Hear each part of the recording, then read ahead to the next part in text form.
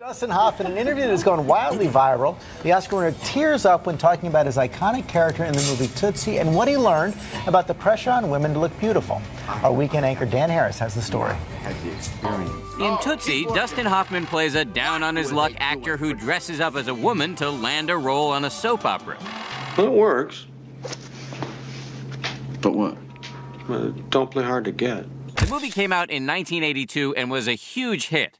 I'd like to make her look a little more attractive. How far can you pull back? How do you feel about Cleveland? Despite all the jokes in the film about his character being more of a naughty than a hottie, Hoffman, in a newly viral and bracingly honest interview, reveals that he was initially shocked when they did screen tests to see how he looked in drag. If I was going to be a woman, I would want to be as beautiful as possible. And they said to me, that's as good as it gets. In that moment, he says, he had an epiphany. I went home and started crying, talking to my wife. And I said, I have to make this picture. And she said, Why?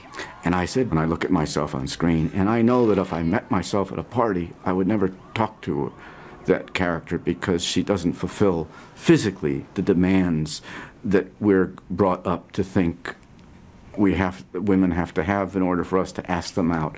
She says, "What are you saying?" And I said, "There's a too many interesting women I have, I have, I I have not had the experience to know in this life because I have been brainwashed and."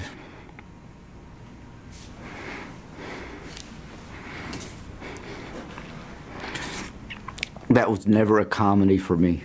And after this extraordinary interview, it may not be a comedy for the rest of us either. For Good Morning America, Dan Harris, ABC News, New York.